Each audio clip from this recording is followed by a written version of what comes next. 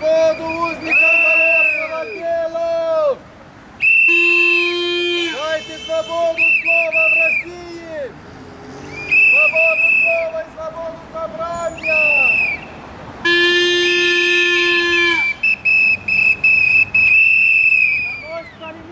De ce anume azi protestați? Protestăm azi pentru că încep procesele de judecată în Federația Rusă împotriva cel puțin 12 participanți la protestele din 6 mai 2012, proteste inițial pașnice, dar care au fost deturnate de către poliția, miliția rusească putinistă, taman în spiritul protestelor deturnate de la noi, de pe 7 aprilie 2009.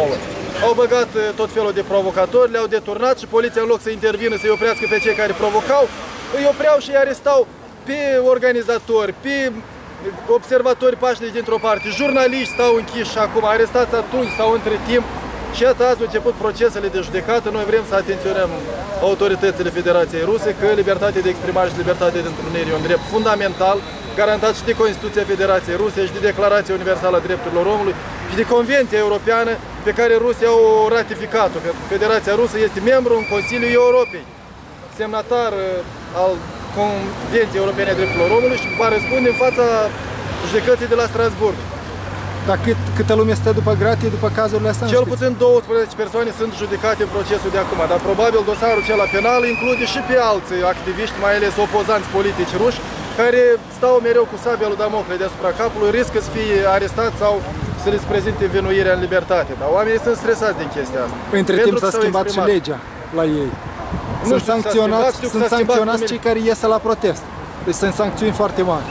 Da, trebuie autorizate protestele, ceea ce nu-i deloc în spirit uh, european și ei acum stau și pichetează instanța de judecată câte unul, că câte unul pichete unitare, solitare li se permite sau li s-au deschis niște țarcuri numite Hyde Park unde ci că li se dă voie să protesteze. Dar activiștii LGBT, de exemplu, nici în țarcurile cele nu au fost lăsați să protesteze. Deci e bătaie de joc cu libertatea de întrunire în Federația Rusă. Se încalcă convenția.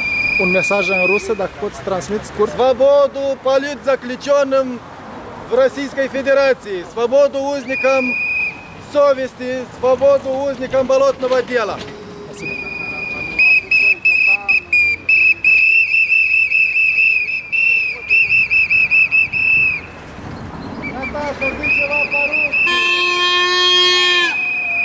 Почему бастуете? За свободу в политзаключенных в России. И Ну, как бы, естественно, это касается и свободы слова в нашей стране, поэтому поддерживаем и таких же людей. А что гласит их закон про свободу слова, про свободу э, митингов? Что гласит их закон? Я думаю, что свободу слова, свобода слова это такая вещь, которую можно высказывать, м, должно можно быть высказывать в любой стране. И сейчас, на- насколько мы понимаем, там люди бастуют, но они не могут вот так вместе бастовать, они поодиночке. Ну да, и были и другие ведь акции поддержки в их защиту, но более такие велопробеги и так далее. А так, чтобы выйти всем вместе на площадь, Узникам болотного дела! Спасибо.